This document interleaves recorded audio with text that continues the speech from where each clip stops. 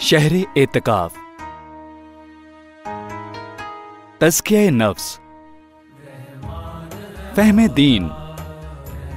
اصلاح احوال۔ توبہ اور آنسوؤں کی بستی۔ اعتکاف امت مصطفی صلی اللہ علیہ وآلہ وسلم پر اللہ کا خاص انعام ہے۔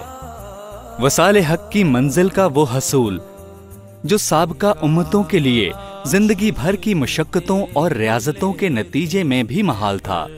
وہ امت مصطفی صلی اللہ علیہ وآلہ وسلم کے لیے اعتکاف کی چند روزہ خلوت نشینی سے ممکن ہے۔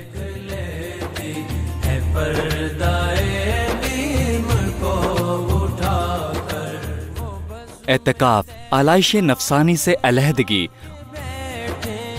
اور خالق و مالک سے احساس و وابستگی کے احیاء کا نام ہے۔ یوں تو تمام عبادات سکون قلب کا باعث ہیں، مگر اعتکاف اپنے اندر تزکیہ نفس تصفیہ باطن اور سکون قلب کے بے پناہ سمرات سمیٹے ہوئے ہے تنہا اعتکاف میں بھی بے شمار سمرات ہیں، لیکن حضور صلی اللہ علیہ وآلہ وسلم اپنے صحابہ کرام کے ساتھ مل کر مسجد نبوی میں اعتکاف کرنے اور شب قدر کو تلاش کرنے کی تلقین فرماتے۔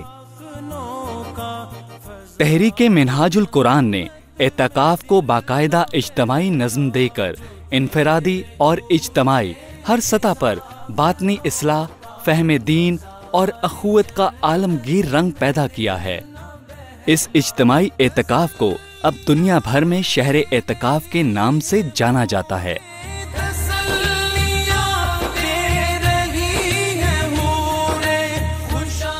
شہر اعتکاف کی تیاریاں رمضان کے آغاز سے ہی شروع ہو جاتی ہیں۔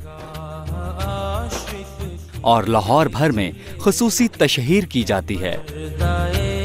موتقفین کے استقبال کے لیے خصوصی ڈیسک قائم کیا جاتا ہے۔ ہر موتقف کی رجسٹریشن کے بعد مناسب رہائش کا الاٹ کی جاتی ہے۔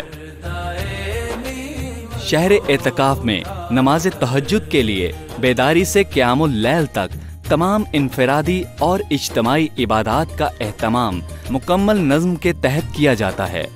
سحری اور افطاری کی تیاری۔ اور بر وقت ہلکا جات تک پہنچانے کے لیے خصوصی ٹیمیں تشکیل دی جاتی ہیں۔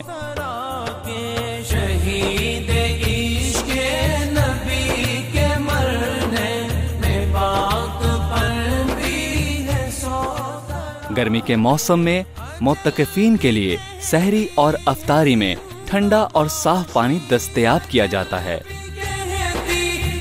بجلی کی مسلسل دستیابی کے لیے جنریٹر بھی مہیا کیا جاتا ہے۔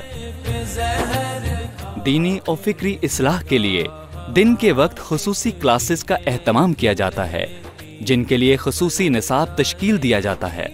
دینی مسائل سے آگاہی اور رہنمائی کے لیے نماز اثر کے بعد فکی سوال جواب کی نشست کا اہتمام کیا جاتا ہے۔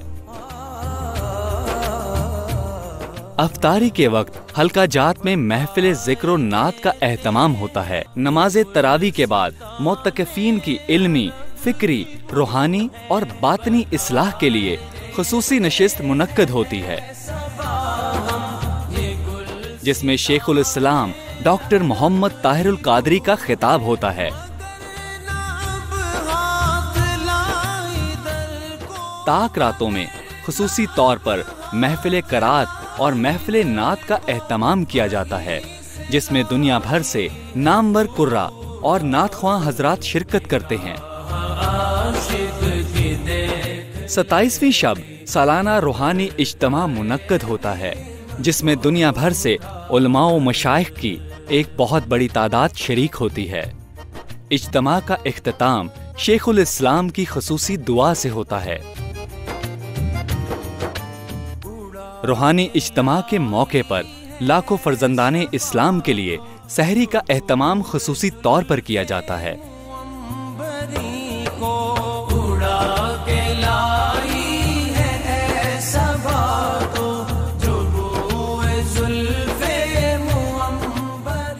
اعتکاف کا اہتمام شوال کا چاند نظر آنے کے بعد شیخ الاسلام ڈاکٹر محمد طاہر القادری کی خصوصی دعا سے ہوتا ہے۔